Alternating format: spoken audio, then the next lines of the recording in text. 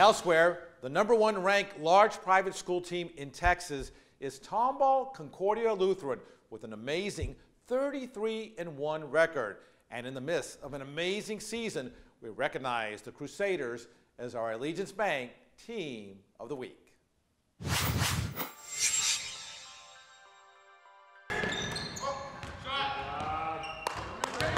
With a lofty 33 and 1 record, Concordia Lutheran has certainly earned its state number one ranking among all large private schools.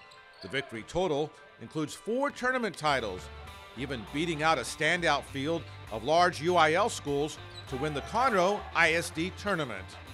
I'm very proud of them. Obviously, it comes as not a lot of surprise to me because I know how hard they've worked.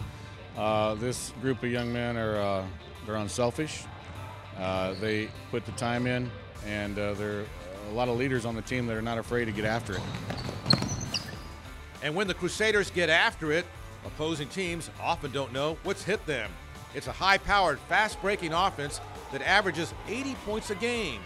A trio of starters, Josh Davis, Nathan McClure, and Pierce Hellums, all average in double figures, with Hellums leading the way with 20 points and even four steals a contest. Coach Honeck, he's a great coach, and you know I love I love playing for him. I think his offense is one of the best in the state or even in the country. You know, we just like to push it and run and give the ball who do it to whoever who's open, and uh, doesn't matter who scores as long as we put points up on the board. That's all that matters. And come out with the win. Our team, we're like really cohesive this year. Uh, we play fast pace, we play defense. You know, we get out and move the ball, and everybody on the team is unselfish, and we get good looks. As a team, the Crusaders are hitting a lofty 50% from the field, and there's not much of a drop off beyond the three point arc. A season removed from connecting on a staggering 426 three pointers, the Crusaders are on pace to top that mark this season. They definitely can shoot the basketball, and that's uh, what makes it so hard to guard. All five spots can shoot the basketball. I, I, I think right now, last year we were like first place in the nation on, on MaxPreps for three pointers made.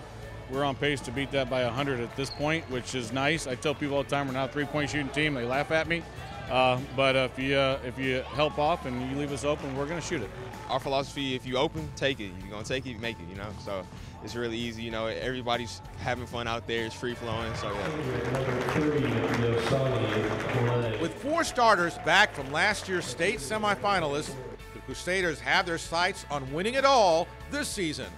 Ironically, head coach Bill Honeck played on the Crusaders' first and only state championship team exactly 20 seasons ago. So, it only seems appropriate that history should repeat itself in 2018.